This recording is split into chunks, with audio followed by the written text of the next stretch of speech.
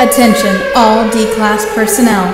Please step out into the hall and in an orderly fashion report to Sector E Ceremonial Room in Room 544. I repeat, all D-Class personnel, please step out into the hall and in an orderly fashion report to Sector E Ceremonial Room in Room 544. If you need assistance, a guard will be standing by to assist you. Order and disciplined behavior is monitory. We will not tolerate any inappropriate behavior or resistance. Thank you, and remember secure, contain, protect.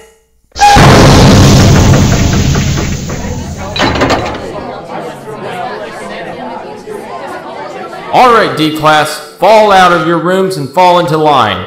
Women on the left, males on the right. You will march in an orderly manner down to Sector E for your ceremony.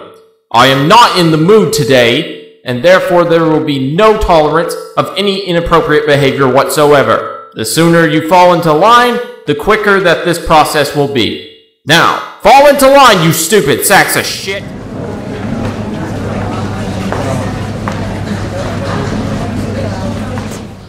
Hey guys, you know anything about the ceremony? Not sure. I figured the guards would tell me something, but they just shoved me back into line. Yeah, the fuckers told me not to worry about it. They said we are going to a graduation ceremony, so they might pat us on the back and let us go back out into the real world. And you really believe that? Maybe he's right, but I really hope so. I still got to settle some business with the bitch who put me in death row in the first place. Yeah, real smart. Then you'll end up back here again. Hey, now that I know how the system works, I will know how to avoid being stuck in here again. Plus, this time I intend on not being caught. Hey! Shut up and eyes forward! No talking!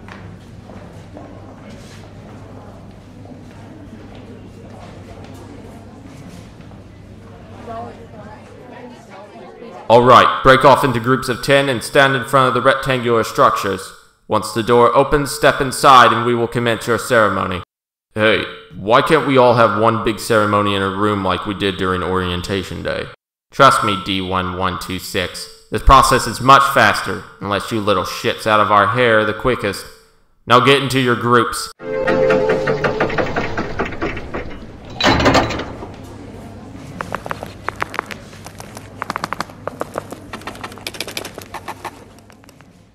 Everyone good? Good. Have fun.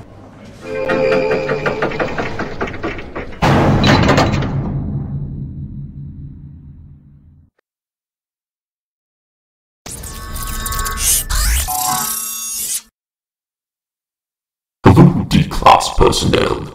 If you are hearing this, then congratulations. You have managed to survive the extreme conditions that we staff must experience through our years of service here in the Foundation.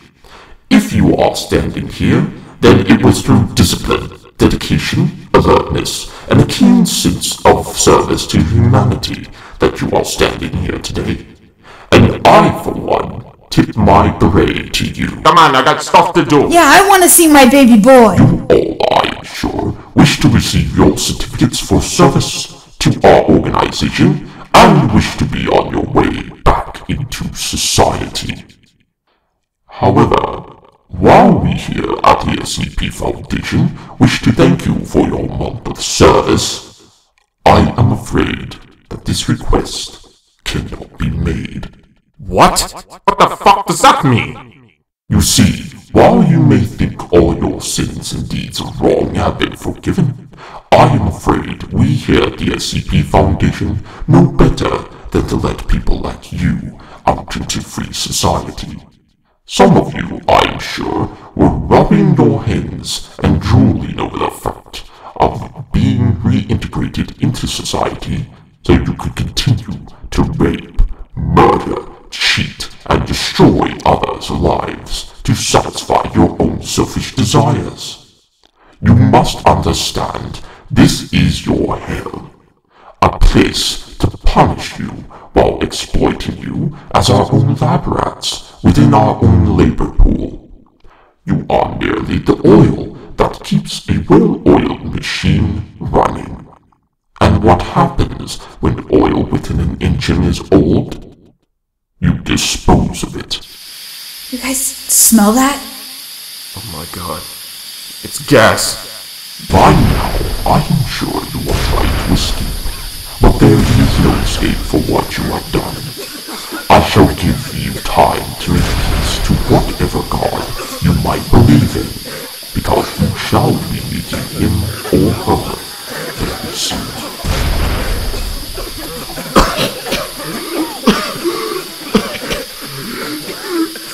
No better than us.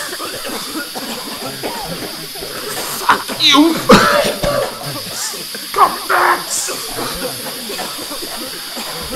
You won't get away with this.